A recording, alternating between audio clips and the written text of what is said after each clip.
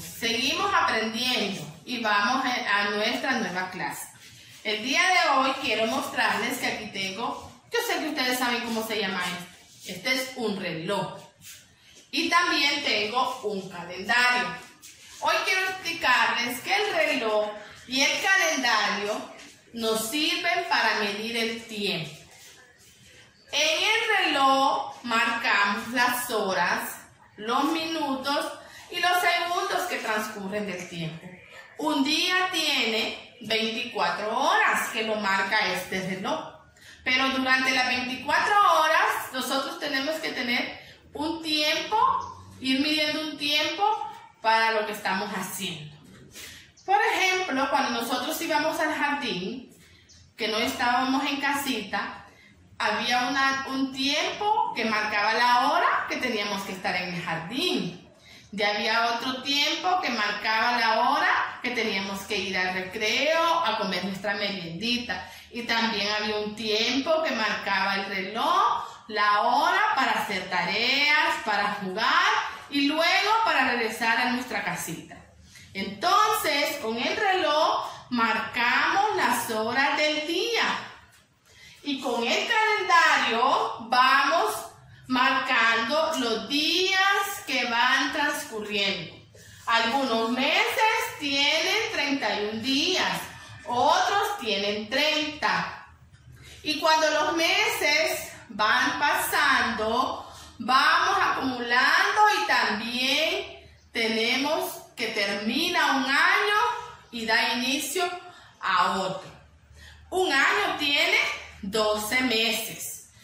Una semana tiene 7 días.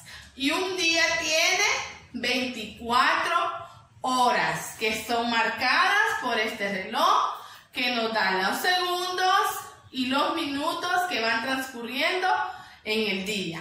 Por eso nosotros en el día con el reloj vamos marcando el tiempo que necesitamos porque todo tiene un tiempo. Hay un tiempo para ayudarle a mamá en casa, hay un tiempo para sentarse en el televisor o en la computadora para ver las clases, hay un tiempo para comer, hay un tiempo para descansar y otro para jugar.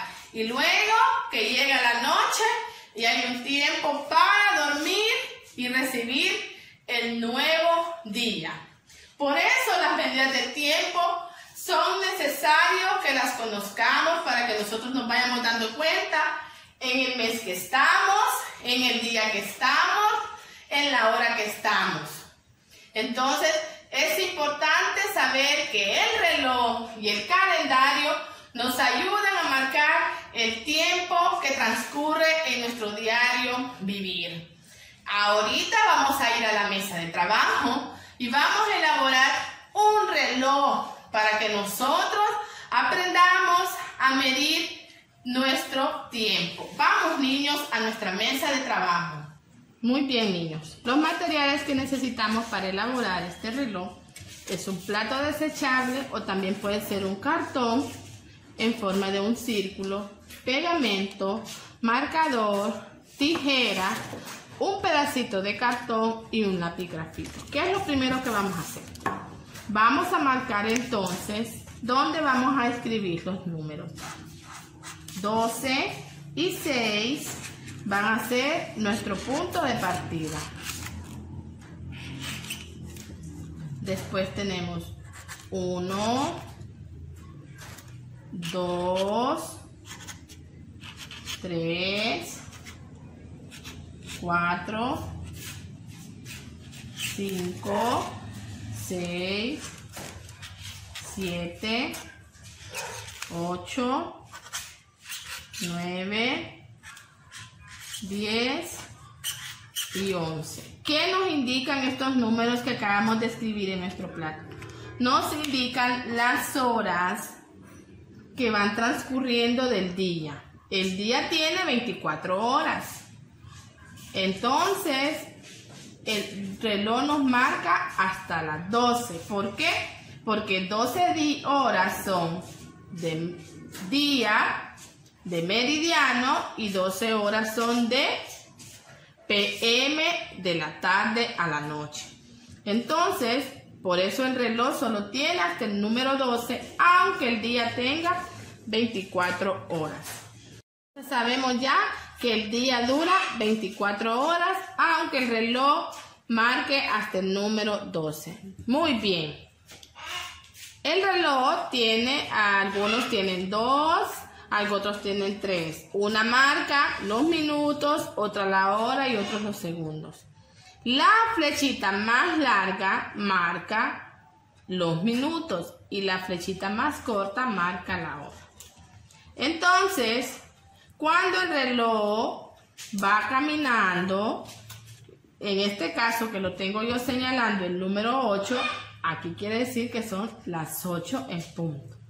Si es de día, decimos que son las 8 de la mañana, AM. Y si es de noche, las 8 de la noche, PM. Entonces, vamos a pedirle, siempre con la ayuda de un adulto, que nos eh, ayuden a poder pegar las flechitas en el reloj para que nosotros sepamos que una de las medidas del tiempo que nos marcan se llama el reloj.